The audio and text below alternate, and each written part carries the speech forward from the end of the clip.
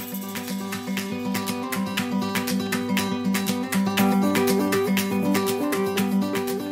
is Anuj Khetarpal. I'm a trial attorney with the Committee for Public Counsel Services in our Public Defender Division.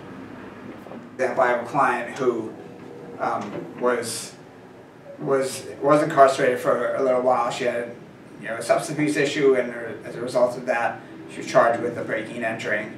Um, basically, her and her co-defendant or alleged have into someone's house and um, stolen a few items, and then you know, ultimately the, the thought was that there's, you know, that was being used to get money for substance abuse. Um, she was incarcerated, and I went and visited her on, you know, numerous times while she was at, in Framingham, and um, and I, you know, I remember visiting her on, excuse me, on Christmas Eve, and just the fact that I was there visiting her on Christmas Eve, when she had no one else there to visit her, was so meaningful for her, and I actually have her letter pinned up to my wall in my office right now because she wrote me this wonderful, like beautifully sweet letter about how grateful she was.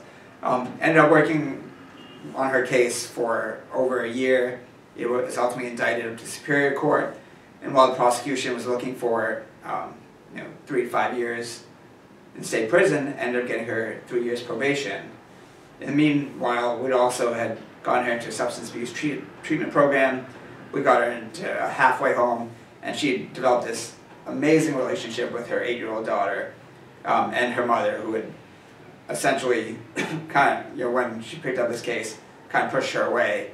Um, but her, like, seeing that reunification of her family and going through the whole process with her and getting to know her on a personal level, not just as a defendant in a criminal case, um, was amazing. So, and I, you know, I still have a close relationship with her she, I, I, am a runner myself, and she now wants to do a five mile race against me. She decided, she said if I, if I can, if I can do it, she says she can do it as well. So we have, a, we have a, an upcoming race scheduled.